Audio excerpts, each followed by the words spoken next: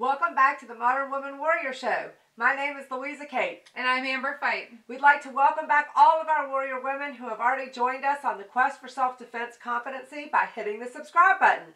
We want you we want to learn all about your journey, so tell us about them in the comments. And hello to everyone who is joining us for the first time. We are so glad you are all here. This channel is created by women, for women, and is centered on all aspects of personal protection and self-defense. If you want to join us and become a modern woman warrior, then just hit the subscribe button and stay tuned in the upcoming weeks as we announce how you can join the Modern Woman Warrior Corps. Louise and I just got back from the range. It's been a really long week. No time for showers, throw on a hat, and here we go. Today's episode is very exciting. It's called Shooting, and it's all about the skills that we need to shoot fast, shoot accurate. We are starting a series on using a handgun for self defense, and this is the first episode in that series. You don't want to miss any of it. Self defense with a pistol is a hot topic in society today. We talked about some of the common and dangerous misconceptions about concealed carry in a previous episode. That's right. The idea that you just strap on a gun or throw it in your purse and you are automatically safe is just simply not true. Experts from NRA training to Gunsite Academy and virtually everyone in between will tell you that it is absolutely not true. The answer that all the experts agree on is the need for CCW training. Our Shooting, Shoot Fast, Shoot Accurate series will show you the fundamental defensive pistol skills you need to develop. Again, it is critically important that you work on the live fire skills at your range under the supervision of a certified instructor. Louisa and I met Karen and Darian at 17 South Rod and Gun Club to work on these fundamental pistol skills. Karen, why don't you tell us a little bit about yourself and your journey as a modern woman warrior?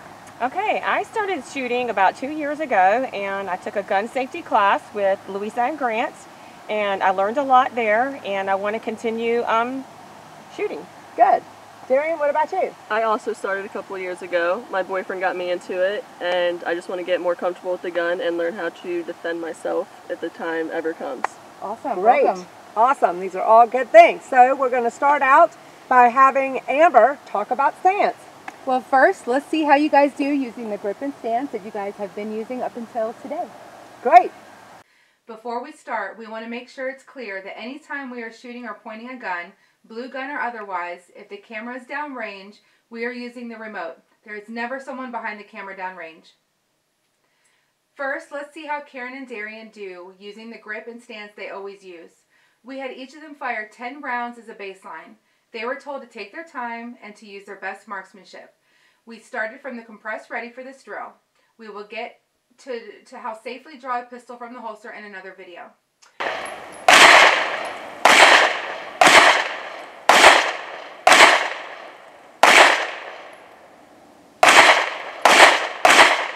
Once we had a baseline for their marksmanship, we worked with them to see what we could do to improve their stances mm-hmm. in order to give them better stability and the ability to move if they need to.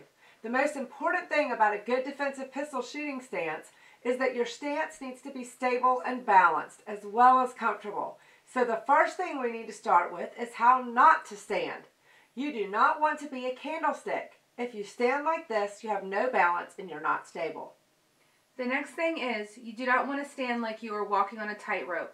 Again, you are not balanced and stable. You have to take extra steps to be able to move. You, do, you don't want your head over your feet. You also don't want your head too far back. The last place you want to be if you're defending your life is on your back. Now let's look at the correct way to stand when we are shooting. First, let's go back to that candlestick position. Then we're going to turn your right foot out at a 90 degree angle. Now lift your heel and pivot your toe so that your feet are parallel to each other. Now you're just going to move your right foot out a bit so that your feet are parallel and slightly wider than shoulder width apart without moving your foot forward. You want to make sure that your feet are pointed toward the line of fire. You don't want one toe pointed off to the side because it makes you less stable and leaves you unbalanced. You may be thinking that we have said stable and balanced a lot, but having your feet in this position makes you much makes it much more difficult to be knocked off your feet. Ladies, I'm here to tell you, if you are defending your life, there will be physical contact. We will talk about more about preparing yourself mentally for physical contact in our mindset series. So keep checking back on our channel. You don't want to miss any of the mindset series. It's really important stuff. The next step is to make sure that your weight and posture are correct. In general, you want to lean slightly forward at your waist. Your weight should be balanced and on the balls of your feet so that you can move easily in any direction without taking extra steps. Now, let's get you set up for proper body and head position so that we can maximize your accuracy. We are going to start with a dominant eye test. It is really important to know which eye is your dominant eye so that you can properly align the pistol behind the correct eye. Many of you have heard the story that I tell about when I first started shooting. I was lining the pistol up behind my right eye and I'm left eye dominant. I couldn't hit the backer at all. Once I got my dominant eye straightened out, I started hitting the center of the target and I was so excited. Amber, let's do that exercise with all our viewers so they know which, um, which eye is dominant. So, you're going to put your arms straight out in front of you and make a small triangle. It should be about the si size of a silver dollar. Find something to use as the target. Why don't you just use the camera as your target, Amber? Okay, okay, good. Now, bring your arms back slowly toward you while you're keeping the target at the center of the triangle. Your arms should come back to your dominant eye. Very good. It came back to your right eye. Is that your dominant eye? It is.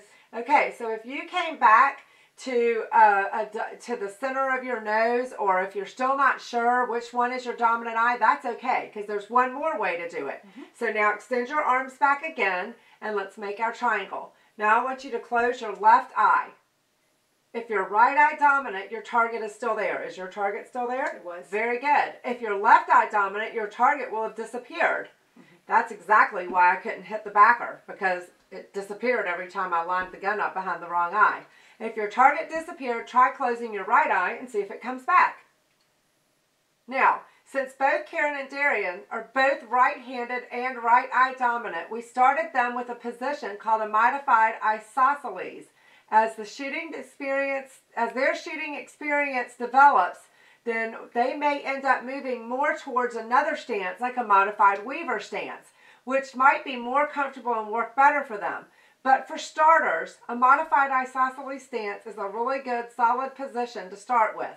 Look for a future episode on this channel covering a number of different shooting stances and the strengths and challenges of each.